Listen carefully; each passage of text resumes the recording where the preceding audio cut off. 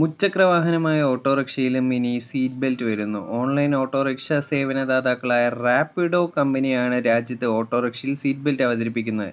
റാപിഡോ വിപുലമായ രീതിയിൽ നടപ്പിലാക്കുന്ന സുരക്ഷാ ബോധവൽക്കരണ പദ്ധതിയുടെ ഭാഗമായി സുരക്ഷയ്ക്ക് പ്രാധാന്യം നൽകുന്നതിന്റെ ഭാഗമായാണ് റാപ്പിഡോ ഓട്ടോറിക്ഷയിൽ സീറ്റ് ബെൽറ്റ് അവതരിപ്പിക്കുന്നത്.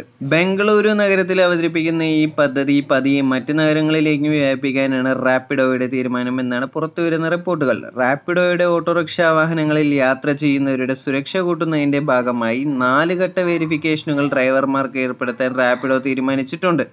ഇതിനൊപ്പം തത്സമയ റൈഡിംഗ് ട്രാക്കിംഗ്, സ്ത്രീ യാത്രക്കാരുടെ വിവരങ്ങൾ സുരക്ഷയുടെ ഭാഗമായി രഹസ്യമാക്കി വയ്ക്കുക, shared റൈഡർമാർക്കായി twenty four into seven on ground support എന്നിവയും റാപ്പിഡോ വാഗ്ദാനം ചെയ്യുന്നുണ്ട്. ഇനി നിങ്ങൾ പറയൂ ഇതുപോലുള്ള പദ്ധതികൾ നമ്മുടെ കേരളത്തിൽ അവതരിപ്പിക്കുന്നതിനുള്ള നിങ്ങളുടെ അഭിപ്രായം കമന്റ് ബോക്സിൽ രേഖപ്പെടുത്തുക.